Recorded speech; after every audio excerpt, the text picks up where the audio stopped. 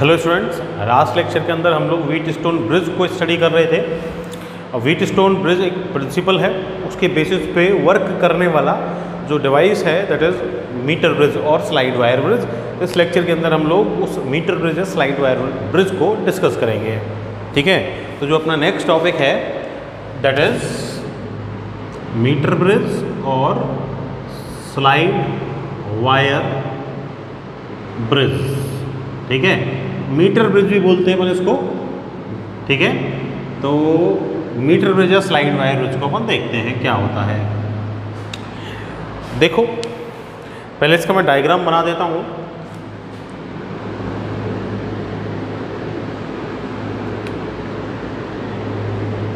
ये अपना जो मीटर ब्रिज या स्लाइड वायर ब्रिज होता है, ये एक्चुअली में एक वुडन बोर्ड पर अटैच होता है। एक वुडन बोर्ड पर लगा हुआ होता है। तो एक लकड़ी का बोर्ड है वुडन बोर्ड है, ठीक है? इस पर ये अपना स्लाइड वायर ब्रिज बना हुआ होगा।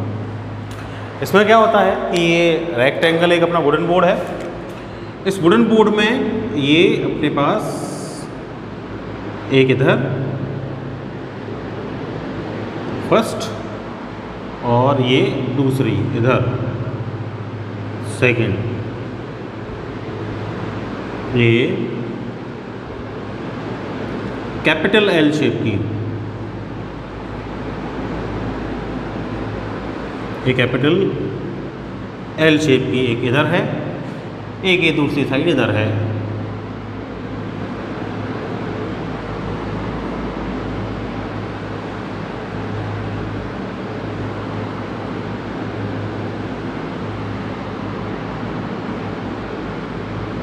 ठीक है?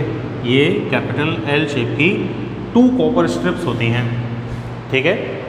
ये इधर एंड ए हो गया end this is end B इधर की साइड ठीक है? ये टर्मिनल्स कनेक्शंस निकले हुए होते हैं इसमें से।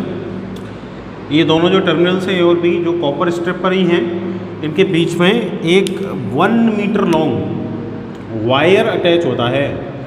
ये one metre long wire attach यहाँ होगा। एक वन मीटर लॉन्ग में वायर लगा देता हूँ। कॉपर का वायर होता है।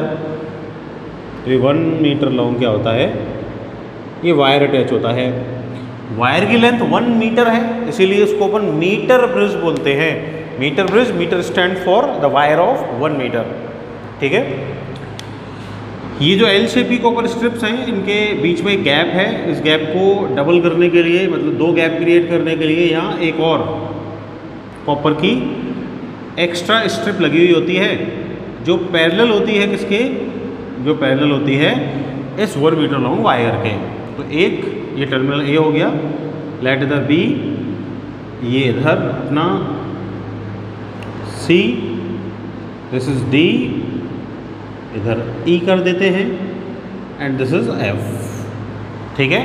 तो यहाँ पे क्या हो रहा है कि कॉपर स्ट्रिप्स दो two capital L shape copper strip एक इधर ये पैरेलल कॉपर स्ट्रिप जो अपने वायर के पैरेलल है ये तीनों कॉपर स्ट्रिप्स के बीच में दो गैप क्रिएट हो रहे हैं। जो एक गैप होता है फ़र्स्ट जो गैप है बी और सी के बीच में, ये गैप बी और सी के बीच में इधर लगा हुआ होता है अपना रेजिस्टेंस बॉक्स रेजिस्टेंस बॉक्स क्या होता है? Resistance box variable resistance provide करने के लिए एक अपना डिवाइस होता है। ठीक है? इसके थ्रू अपन क्या कर सकते हैं? Different different values of resistance provide कर सकते हैं। ठीक है? तो यहाँ कनेक्ट होता है रेजिस्टेंस बॉक्स आर बी से नोट किया है। और जो सेकंड गैप है, वहाँ कनेक्ट होता है ये unknown resistance S S is unknown resistance अच्छा वीट स्टोन ब्रिज अपन ने पढ़ा था। वीट स्टोन ब्रिज के अंदर अपन ने क्या पढ़ा था? कि वीट स्टोन ब्रिज से क्या फाइंड करते हैं अपन? अननोन रेजिस्टेंस फाइंड करते हैं। तो भाई मीटर ब्रिज उसी प्रिंसिपल में वर्क करता है। तो ये भी क्या फाइंड करेगा? अननोन रेजिस्टेंस फाइंड करेगा। तो जिस अननोन रेजिस्टेंस को अपन को फाइंड करना होता है, वो गैप ई और एफ़ के बीच में अपन लगाते हैं। ठीक है? अब इसमें जो वन मीटर लॉन्ग वायर है, इसके पैरेलल है ना? यहाँ पे लगा हुआ होता है एक मीटर स्केल ये जो मीटर स्केल है, ये वन मीटर लॉन्ग होता है भाई। वन मीटर का वायर है तो स्केल भी कैसा होगा? वन मीटर लॉन्ग होगा। एक्चुअली में स्केल इस वायर के नीचे होता है है ना? ये जो वायर है, ये कहाँ होता है? अपने स्केल के ऊपर ही होता है। तो ये अपना क्या हो गया? वन मीटर लॉन्ग स्केल हो गया।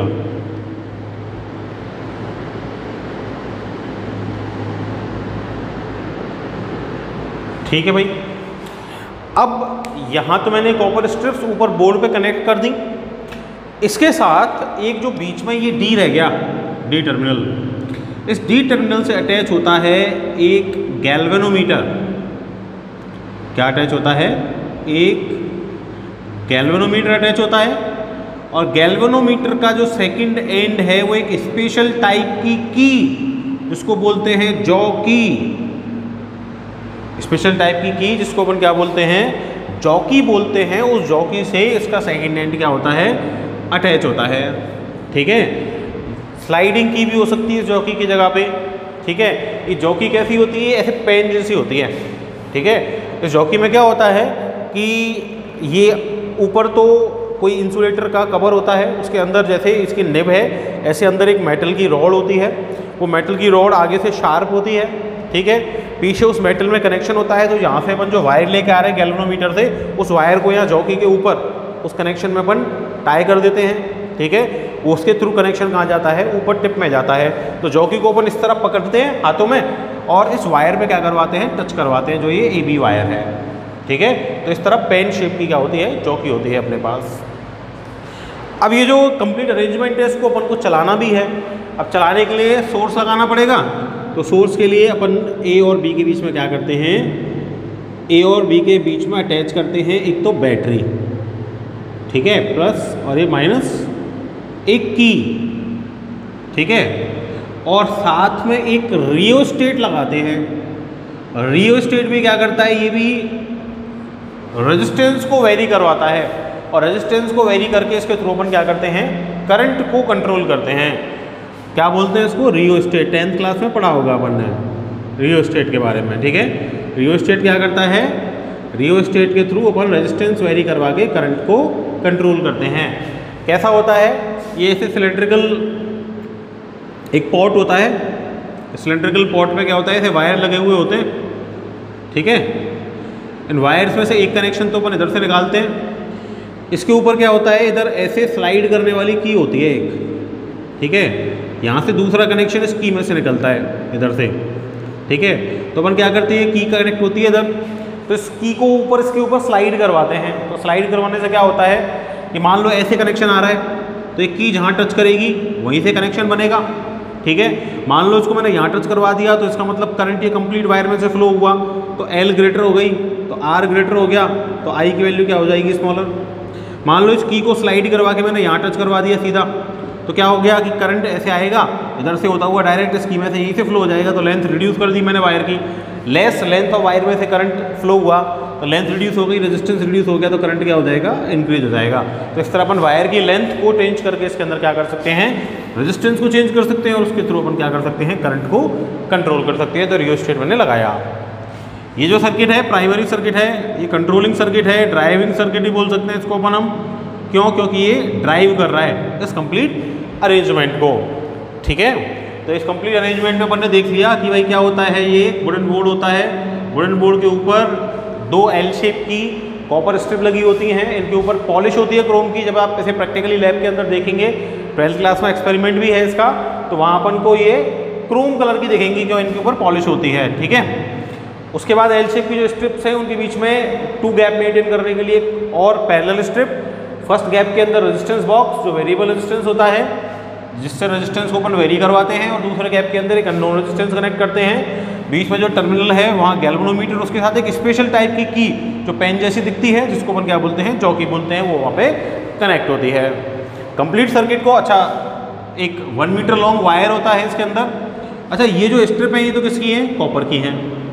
ये जो वायर अपन ने लगाया ना, ये वायर होता है या तो यूरेका का आयदर यूरेका और मैंगनिन और मैंगनिन, या फिर होता है ये कांस्टेंटन का, यूरेका मैंगनिन या कांस्टेंटन का, इसलिए क्यों? क्योंकि इनका जो रेजिस्टेंस और रेजिस्टिविटी है ना, वो हाई होती है। भाई, ये अलॉयज़ हैं। ये क्या है? अलॉयज़ और अलॉय का जो रेजिस्टिविटी होता है रेजिस्टेंस जो होता है, वो कंडक्टर के कंपैरिजन में क्या होता है? हायर होता है। तो यहाँ पर ने कॉपर लगाया। तो कॉपर के कंपैरिजन में हाई रेजिस्टेंस के लिए अपन ने यहाँ क्या लगाया? ये वायर लगाया। यूरे का मैग्नीरिया कॉन्स्टेंटन का है। कितना मीटर लॉन्ग है? वन मीटर लॉन्ग है हाई रेजिस्टिविटी है हाई रेजिस्टेंस है इसका। ठीक है? तो ये वायर अपन यहाँ अटैच करते हैं और इसके पैरेलल अपन ने क्या लगाया? स्केल लगाया है। इसको चलाने के लिए अपन ने एक दूसरा सर्किट इसको ड्राइविंग सर्किट अपन बोल रहे हैं। यहाँ एक मैंने बैटरी लगा दी, एक की लगा दी और एक क्या लगा दिया? मैंने रियोस्टेट लगा दिया। ठीक है? ये हो गई इसके सर्किट की बात। अब इसमें देखो क्या है? ये वर्क कर रहा है किस पे? वीट स्टोन ब्रिज के प्रिंसिपल पे। ठीक है? तो वीट स्टोन ब्रिज में क्या होता था? वीट स्टोन ब्रिज में अपन ये देखते थे कि भाई उसके अंदर फोर रेजिस्टेंसेस होते थे। Four resistances P Q R और एस आर होता था वेरिएबल रेजिस्टेंस ठीक है? तो कहाँ है वेरिएबल रेजिस्टेंस ये रहा। दैट मीन्स रेजिस्टेंस बॉक्स जो है वो बिहेव करेगा एज वेरिएबल रेजिस्टेंस आर ठीक है? एस जो होता था, वो होता था अननोन रेजिस्टेंस तो एस वही मैंने यहाँ कनेक्ट किया है अननोन रेजिस्टेंस ठीक है? हमने देखा था कि भाई आर के साथ पैरेलल में पी होता था एस के साथ पैरेलल में क्यू होता था। ठीक है? और इनके बीच में होती थी एक ब्रिज ब्रांच याद है ना, इस तरह का ही था वीट स्टोन ब्रिज या गैल्वेनोमीटर इधर P, इधर Q, इधर R, इधर S P के साथ ये R, Q के साथ ये S और इनके बीच में क्या होता था, ये ब्रिज ब्रांच गैल्वेनोमीटर तो P R के साथ होना चाहिए पी तो ये जो अपन ने वायर लगाया ना वन मीटर लॉन्ग ये रेजिस्टेंस P के लिए और क्यू के लिए ही लगाया है। ठीक है? तो आर के साथ इस वायर पे यहाँ तो होगा P और S के साथ वायर पे यहाँ होगा क्या? क्यू ठीक है? और बीच में ब्रिज ब्रांच जिसमें गैल्वेनोमीटर है तो G जो है वो क्या हो गई? वो ब्रिज ब्रांच हो गई। ठीक है? G क्या है? जिसमें गैल्वेनोमीटर लगा हुआ है, ये ब्रांच क्या हो गई? ब्रिज ब्रांच हो गई। तो ब्रिज ब्रांच है ये तो इसके इधर तो P, ये तो P, और इसके इधर ये क्या हो गया? Q हो गया। ठीक है? अब ये रेजिस्टेंस मुझे देता नहीं है P और Q के, ये मुझे यूज़ करने हैं वीट स्टोन ब्रिज के प्रिंसिपल के अकॉर्डिंग अब वीट स्टोन ब्रिज का जो प्रिंसिपल था, वो क्या कहता था, आप याद करें। वीट स्टोन ब्रिज का प्रिंसिपल ये कहता था कि मान लो अपने पास ये अरेंजमेंट है फोर रेजिस्टेंसेस का पी क्यू आर एस का तो अगर P और Q का रेशो R और S के रेशो के इक्वल हो जाए। तो जो ब्रिज ब्रांच में करंट होता था ना आई जी गैलोनोमीटर का करंट वो क्या होता था? ज़ीरो होता था। ऐसे ही पढ़ा था अपन ने। और अपर टर्मिनल और नीचे वाला टर्मिनल जो डाउन टर्मिनल है, उन दोनों का पोटेंशियल सेम होता था और पोटेंशियल डिफरेंस क्या होता था? ज़ीरो होता था। याद है, ऐसे ही पढ़ा था। अच्छा वहाँ मैंने आपसे ये कहा था कि भाई अपन इसको उल्टा यूज़ करते हैं। कॉन्सेप्ट में जब अपन यूज़ करते हैं इसको तो उल्टा यूज़ करते हैं कैसे? कि भाई अगर ब्रिज ब्रांच के अंदर करंट आई जी ज़ीरो है तो P और Q का रेशियो R और S के रेशियो के इक्वल होगा। ऐसे अपन इसको वहाँ क्या करते हैं? यूज़ करते हैं। तो ऐसा होना चाहिए। ठीक है? भाई ये जो कंडीशन होती थी, जिस कंडीशन में पी और क्यू का रेशियो आर और एस के रेशियो के इक्वल होता था और जी इक्वल टू ज़ीरो होता था, इस कंडीशन को अपन बोलते थे बैलेंसिंग कंडीशन यही बोलते थे कि भाई अपना जो वीट स्टोन ब्रिज है वो कैसा है, वो बैलेंस है। तो यहाँ पे भी क्या होगा कि अगर आई जी ज़ीरो हो जाए गैलोनोमीटर के अंदर करंट ज़ीरो हो जाए तो पी और क्यू का रेशियो आर और एस के रेशियो के इक्वल हो जाएगा और उस कंडीशन में जो अपना मीटर ब्रिज होगा, वो कैसा होगा? वो बैलेंसिंग कंडीशन में होगा, वो बैलेंस्ड होगा। ठीक है? तो वही कंडीशन मुझे यहाँ पे फाइंड करनी होती है और उसी का यूज़ करके मैं अननोन रेजिस्टेंस फाइंड करता हूँ। देखो अगर मैं यहाँ से करंट फ्लो करवाता हूँ, इसका ई ई एम एफ़ है, इधर से करंट जाएगा आई जैसे वीट स्टोन ब्रिज में गया था, यहाँ से डिवाइड होगा, ठीक है? यहाँ से डिवाइड होगा तो ऊपर आई वन नीचे आई माइनस आई वन इधर से फिर आई वन माइनस आई जी इसके अंदर जाएगा फिर रिमेनिंग इधर से जाएगा, बाकी का इधर से होता हुआ और कंप्लीट मुझे इधर से क्या मिल जाएगा? आई मिल जाएगा। इसके अंदर डिस्ट्रीब्यूशन ऑफ़ करंट को अपन अगर वीट स्टोन वाले वाले डायग्राम को वापस देख लें तो उससे समझ सकते हैं कि इसके अंदर डिस्ट्रीब्यूशन कैसे होगा करंट का। ठीक है? अपन मेन पॉइंट पे आते हैं कि इससे अपन फाइंड कैसे करते हैं non resistant Wheatstone bridge के प्रिंसिपल का यूज़ करके। ठीक है? अब देखो कि अगर मैं ये लेट करूँ कि भाई ये कंप्लीट जो वायर है ना, इस वायर की जो लेंथ है, वो तो वन मीटर है। ठीक है? इस वायर का जो क्रॉस सेक्शन एरिया है लेट वो ए है। कितना है? ए और इसकी जो रजिस्टिविटी है स्पेसिफिक रेजिस्टेंस है, वो कितना है? रो है। किसकी? इस वन मीटर लॉन्ग वायर की जो यूरिका मैंगनिया कॉन्स्टेंटन से बना हुआ है। क्रॉस सेक्शन एरिया ए है और रजिस्टिविटी कितनी है? इसकी रो वो तो कांस्टेंट रहेगी। ठीक है? अब मान लो कि भाई ये अरेंजमेंट मैंने इसके अंदर लगा दिया। ठीक है? और ये अरेंजमेंट लगाने के बाद अपन क्या करते हैं? कि भाई ये जो जॉकी है ना, अब देखो जॉकी अगर मैं इस पर टच करवाऊँगा तो तो कनेक्शन होगा तो तो करंट फ्लो नहीं करेगा। लेकिन अगर मान लो जॉकी को मैं इसे उठा लेता हूँ तो कनेक्शन कट और करंट फ्लो नहीं करेगा। ठीक है? मुझे क्या चाहिए कि भाई कनेक्शन होना भी चाहिए और उस ड्यूरेशन में कनेक्शन के टाइम आई क्या होना चाहिए ज़ीरो होना चाहिए। तो आई ज़ीरो कैसे होगा? जब भी अपन मीटर ब्रिज यूज़ करते हैं तो क्या करते हैं? कि अपने पास ही मीटर मीटर ब्रिज का अरेंजमेंट होता है, अपने हाथ में ऐसे जॉकी होती है जो यहाँ पे गैल्वेनोमीटर से कनेक्ट होती है, वो जॉकी को लेके अपन इस वायर पे टच करवाते हैं। जैसे इस वायर पे जॉकी को अपन टच करवाते हैं सर्किट कंप्लीट हो जाता है और गैल्वेनोमीटर में करंट फ्लो होने लगता है और गैल्वेनोमीटर कोई ना कोई डिफ्लेक्शन अपन को शो करता है। अब गैल्वेनोमीटर डिफ्लेक्शन शो करेगा क्यों? क्योंकि ये जो टर्मिनल है और ये जो पॉइंट टर्मिनल है, दोनों टर्मिनल्स के बीच में कोई ना कोई पोटेंशियल डिफरेंस है तो गैल्वेनोमीटर से करंट फ्लो हो रहा है। फ्लो हो रहा है तो गैल्वेनोमीटर क्या कर रहा है? उस करंट को बता रहा है डिफ्लेक्शन शो कर रहा है। ठीक है? अब देखो, यहाँ जो वायर है, इसका कुछ ना कुछ रेजिस्टेंस है। और रेजिस्टेंस आर इक्वल टू क्या होता है? रो एल अपॉन ए होता है। मतलब लेंथ पे डिपेंड करता है रेजिस्टेंस तो। मतलब इस जॉकी को अपन यहाँ की जगह, यहाँ अगर मान लो टच करवा रहे हैं स्टार्टिंग में तो ये P है पूरा और ये Q है। तो इसकी जो कुछ लेंथ होगी, उसके अकॉर्डिंग इसका रेजिस्टेंस होगा, इसका रेजिस्टेंस इसकी लेंथ के अकॉर्डिंग होगा। मान लो इसकी लेंथ को चेंज करवा के जॉकी को यहाँ टच करवा दूँ तो पी की लेंथ डिक्रीज हो गई तो इसका रेजिस्टेंस चेंज हो जाएगा। क्यू की लेंथ भी चेंज हो गई तो क्यू का रेजिस्टेंस भी चेंज हो जाएगा। इसका मतलब उस टाइम अगर रेजिस्टेंस चेंज हो जाएगा तो पोटेंशियल्स भी चेंज हो जाएँगे इन पॉइंट्स के। और अगर पोटेंशियल चेंज हो जाएँगे तो करंट की वैल्यू में क्या हो जाएगी? चेंज हो जाएगी। इसका मतलब इस जॉकी को अगर इस वायर पे मैं स्लाइड करवाऊं मतलब अलग अलग पॉइंट पे डिफरेंट डिफरेंट पॉइंट्स पे टच करवाऊं तो हर बार गैल्वेनोमीटर में करंट की वैल्यू कैसी आएगी? डिफरेंट डिफरेंट आएगी। क्यों? क्योंकि पोटेंशियल डिफरेंट डिफरेंट होंगे हर एक पॉइंट के। ठीक है? तो अपन क्या करते हैं कि जॉकी को इस वायर पे टच करवाते हैं। गैल्वेनोमीटर में डिफ्लेक्शन आता है। लेकिन अपन को तो बैलेंसिंग कंडीशन ऐसी देखनी है, जहाँ पे आई जी का हो ज़ीरो हो। तो उसके लिए अपन क्या करते हैं कि जो अपने हाथ में जॉकी है ना, इसको इस वायर पे स्लाइड करवाते हैं। वायर पे स्लाइड करवाने से क्या होता है कि करंट की वैल्यू चेंज होती है। ठीक है? अब गैल्वेनोमीटर तो क्या करता है? डबल डिफ्लेक्शन देता है ना डबल साइड डिफ्लेक्शन देता है लेफ़्ट साइड में भी और राइट साइड में भी। तो इस मीटर ब्रिज का कनेक्शन आपका करेक्ट है। ये चेक करने का तरीका है कि आप इसको जब इधर एक साइड में टच करवाएँ, लेट, लेफ़्ट में टच करवा रहे हैं तो गैल्वेनोमीटर में डिफ्लेक्शन लेफ़्ट में जाना चाहिए, इसको राइट में टच करवा रहे हैं तो गैल्वेनोमीटर में डिफ्लेक्शन राइट में जाना चाहिए। मतलब दोनों एंड्स पे टच करवाने पर जो डिफ्लेक्शन की डायरेक्शन है, वो क्या हो जानी चाहिए? चेंज हो जानी चाहिए। ठीक है? क्यों? भाई, यहाँ से मान लो हायर पोटेंशियल है ये पॉइंट, यहाँ पॉजिटिव कनेक्टेड है तो जैसे जैसे लेंथ इंक्रीज होती जाएगी, पोटेंशियल क्या होता जाएगा? रिड्यूस होता जाएगा। पोटेंशियल रिड्यूस होता जाएगा तो क्या होगा कि भाई, पोटेंशियल डिफरेंस जब होगा इसके साथ इन पॉइंट्स का तो वो भी चेंज होगा और पोटेंशियल डिफरेंस चेंज होगा। तो पोटेंशियल डिफरेंस कहीं ज़्यादा होगा, कहीं कम होगा। तो करंट हो सकता है कि एक बार नीचे से ऊपर जाए और हो सकता है अगली बार ऊपर से नीचे आए। तो पोटेंशियल के साथ करंट की डायरेक्शन में क्या हो जाएगी? चेंज हो जाएगी क्योंकि करंट तो हमेशा higher potential to lower potential जाता है। तो जब आप जॉकी को इस पर स्लाइड करवा रहे होंगे तो एक साइड लाएँगे लेफ़्ट जाएगा, दूसरी साइड लेके जाएँगे राइट जाएगा। मतलब बीच में कहीं ना कहीं ऐसी कंडीशन आएगी जिस कंडीशन में गैलोनोमीटर के अंदर जो डिफ्लेक्शन है वो क्या हो जाएगा? ज़ीरो हो जाएगा। मीन्स करंट की वैल्यू क्या हो जाएगी? ज़ीरो हो जाएगी।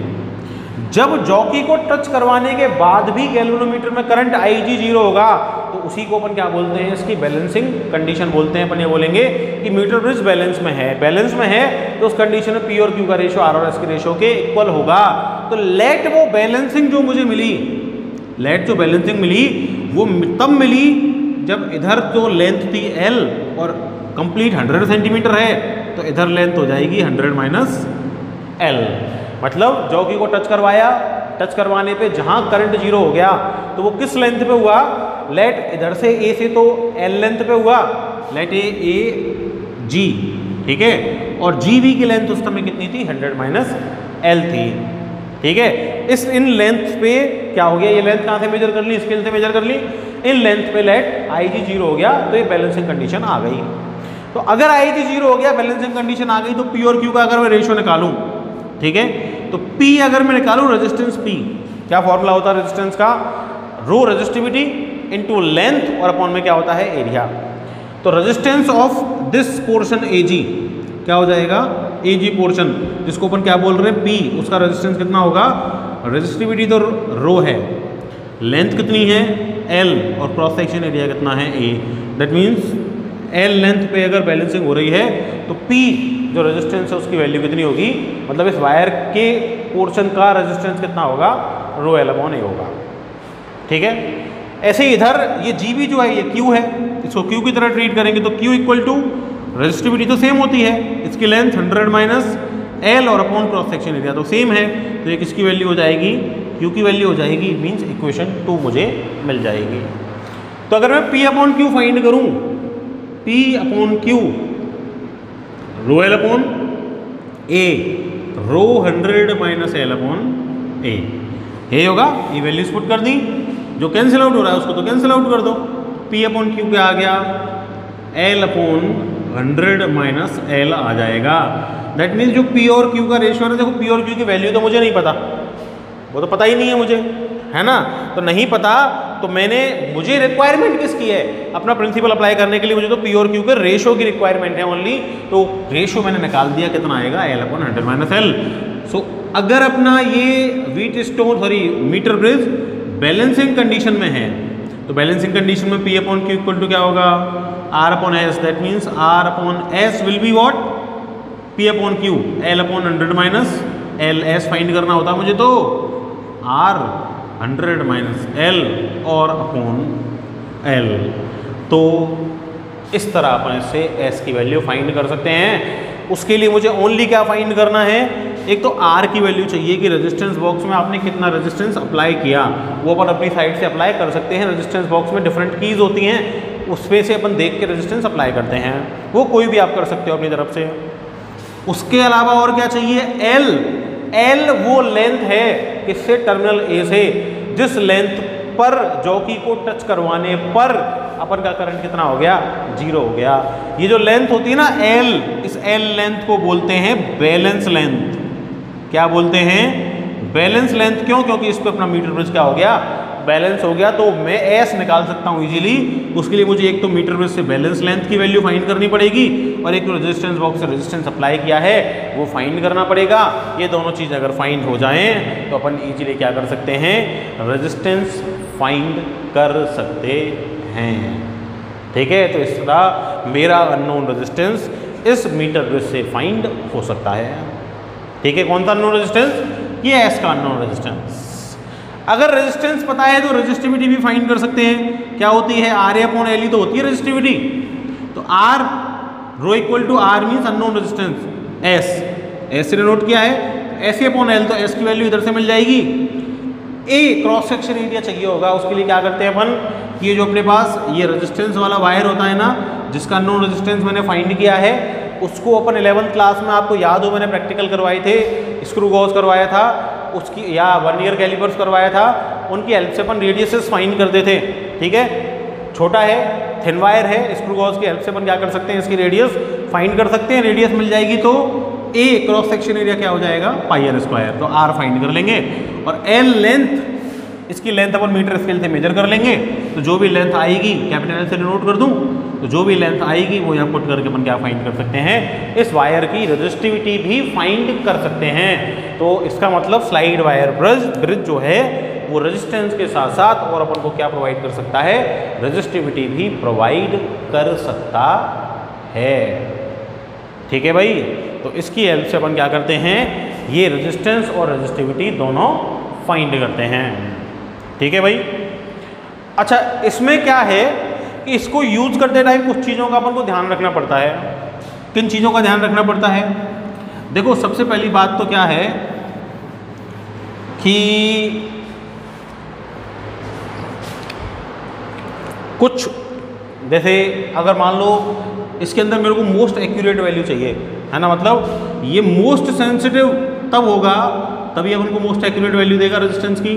तो ये मोस्ट सेंसिटिव तब होता है जब अपन को जो आई जी ज़ीरो कहाँ मिले? मिड में मिले। मतलब जॉगी को मिड में टच करवाने पर अगर आई जी ज़ीरो मिल जाए तो ये जो अपना मीटर वेज है, ये सबसे ज़्यादा सेंसिटिव होगा। ठीक है ना? मोस्ट सेंसिटिव होगा ये उस समय। ठीक? इसके अलावा देखो क्या है कि अच्छा ये मान लो मिड में रखना है तो उसके लिए अपन को इस आरबी की वैल्यू को चेंज करना पड़ेगा।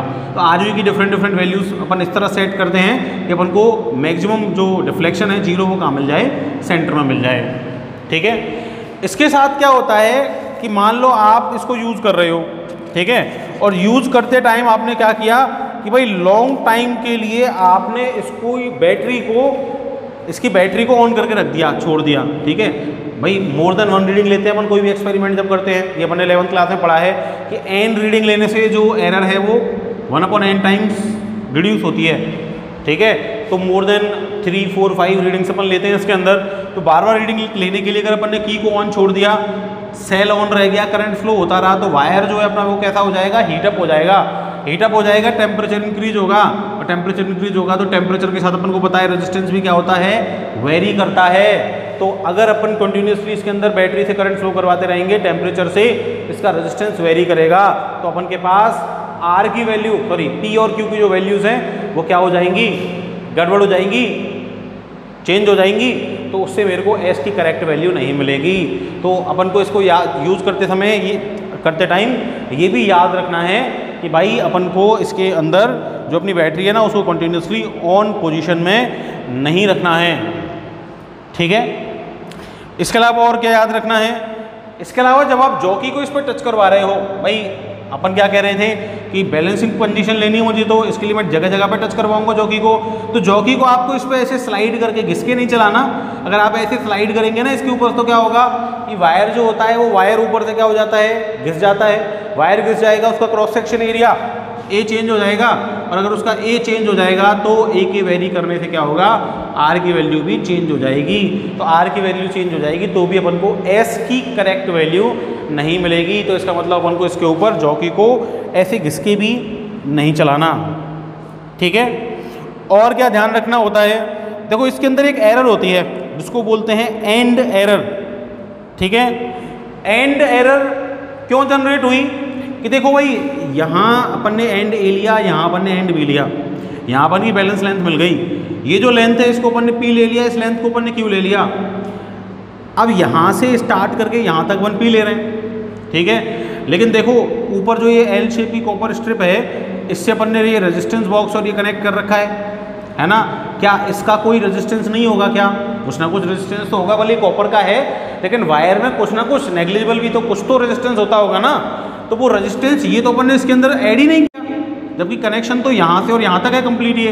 रेजिस्टेंस तो इसका आना चाहिए था। ऐसे ही अपन ने इसका रेजिस्टेंस लिया इधर। अपन ने इसको भी कैलकुलेशन में लिया इतने वायर को। तो ये जो वायर रह गया ना तो ये एंड्स एल शेप की जो स्ट्रिप्स रह गई, इनसे जो एरर जनरेट होती है, उसको अपन बोलते हैं एंड एरर क्या बोलते हैं? एंड एरर मतलब एंड अपन ने सही जगह पे नहीं लिए। तो उसका करेक्शन क्या है? भाई एंड एरर का करेक्शन ये है कि आप ये ट्राई करें कि आपकी जो रीडिंग है वो कहाँ आए? सेंटर में ही आए। मिड के आसपास आए, मुड़ में ना आए एक्यूरेटली तो मिड के आसपास ही आए।